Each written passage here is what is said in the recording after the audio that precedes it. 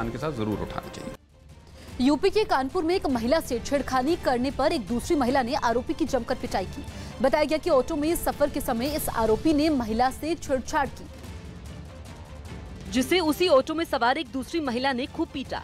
महिला ने आरोपी को कई जोरदार थप्पड़ जड़ दिए जिसके बाद आरोपी ने महिला से हाथ जोड़कर माफ़ी मांगी। यही नहीं आरोपी ने महिला के पैर छूकर भी उसे छोड़ देने की अपील की लेकिन महिला का गुस्सा शांत नहीं हुआ।